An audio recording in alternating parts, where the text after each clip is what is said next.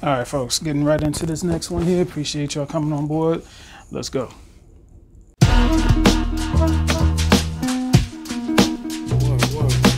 Okay, so what we're talking about today, uh, the batches are this. The stitching looks like that. The inconsistencies, if you will, the color textures of the superfluous materials of the non-understanding pubescent of the who the fuck cares? That's the title for today. Nobody cares. Uh, shout out to Snide SB um, for coming out with a video. You know what? Let's take a look real quick. Let's talk about these these batches with their flaws, okay? And how it really does not matter whatsoever. Okay, now we're gonna start. Let's look. I'm just gonna fly through some shoes here. Okay, so unions. People uh, talk about like little differences, like uh, the wings shouldn't. They should extend over the line. They shouldn't. Some retails do. Some retails don't. Not a flaw. People banging on about the fours. Uh, oh, it's cut too low at the back. It's cut too high. It's cut too low. Back and forth. Uh, yeah, okay, so they're cut slightly low. Retails can be as well. Again, doesn't matter. A shoe that has been distressed, messed around with. I think it got bleached at one point as an experiment, so ignore that stuff. But um, people talking about how this print shouldn't be so large, it should be smaller. Nobody's noticed yet. Dunk. Oh, the embroidery's at a slightly too different angle. The E is slightly different from the K. Doesn't matter.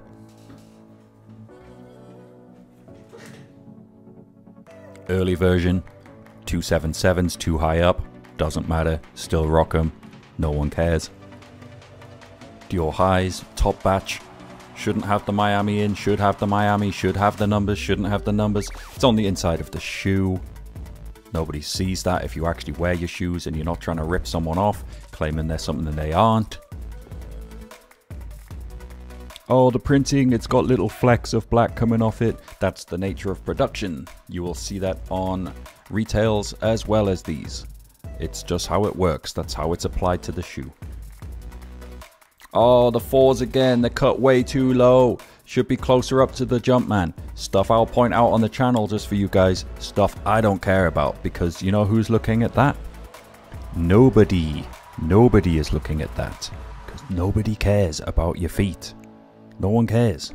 How big headed are you that you think people care about your shoes? Okay, so you see that? he, you can hear it in his voice. It's like nobody cares. Newsflash, I'm 39 years old. I'll be 40 in a couple of months. So five months away, I'll be 40 that day, right? Um, I have noticed exactly what Snyder's saying. And most of y'all who are in the age demographic of say 24 to 36 years old, or even hell, 24 to 40, right? Um, especially over 40. Y'all definitely know what I'm talking about, okay? Now, for y'all between 18 to 24, y'all might not get this video, and that's cool. I'm not calling y'all out. I'm just letting y'all know as a public service announcement that the older you get, the more people, like, unless you go to sneaker cons and general assembly places where that's all they talk about sneakers, sneakers, sneakers, sneakers, sneakers, nobody cares.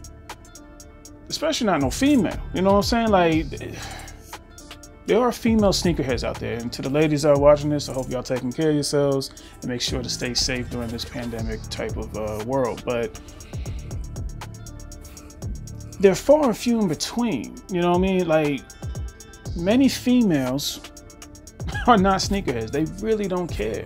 You know what I'm saying? And for us as sneakerhead, you know, husbands and boyfriends, and significant others, domestic partners, whatever you want to call yourselves, um, we do what we can to try to bring the women in, right? But for the most part, they just put the shit on feet and they go, oh, that's cute, you know, and that's as far as it goes, people. Surprise. They don't fucking care. It's it's really not that deep. You just buy the shoe, you put the shit on, it gets dirty, you clean it, or not, because it might go with the aesthetic or the look of the actual shoe to not clean it, as I've come to realize being a sneakerhead. Uh, Oh, hell, just look at these right here, the Nigel, the Nigel Sylvesters. I mean, those shits look dirty from the, and that's how they came in. That's how they come in, I should say. Whether you get the resale value shoe or you just get the replicas, which from what I understand nowadays, the replicas are really hard to come by, but I digress. Um, it's no need to really beat yourself up about what batch, whose batch, when's batch, their batch, your batch, my batch. Like, it really. Okay, so I had got this shoe right here, as you see on the screen. If you haven't checked out that video, go check out the video. Um, you know, the shit is crazy. You know, got the neighborhood cat that came out of nowhere, just guest starring in my video while I'm trying to review. Um, but anyway, this is shoe I got in, the University Blues Air Jordan 1. Now, mind you, I got those shoes in towards the end of November 2020. They didn't release for retail until March 2021. And they, you know, that's normal for Nike sneaker app. They came out and then they were gone. So a lot of people hit me up and they were just like, look, fuck this.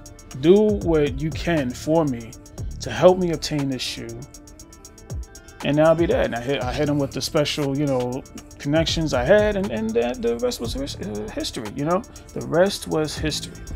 Okay? But did they come back to me and say, hey, um, I see that there's other batches that exist with this shoe, and I need to get the best batch of the batches of batch. They didn't come to me about that nonsense.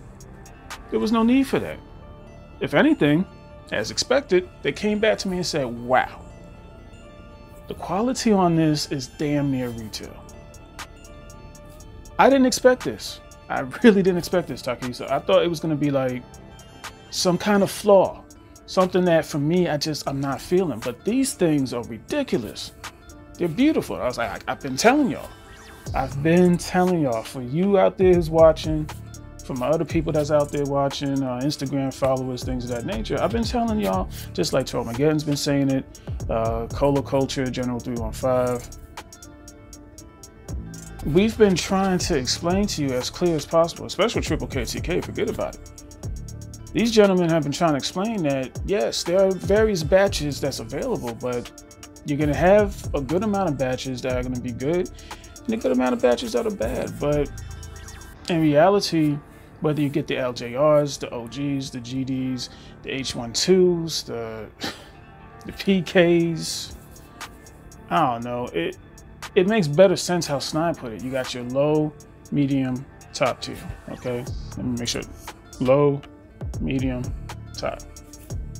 Makes sense to me. And it actually helps for it to be much easier for us to manage what we're looking for.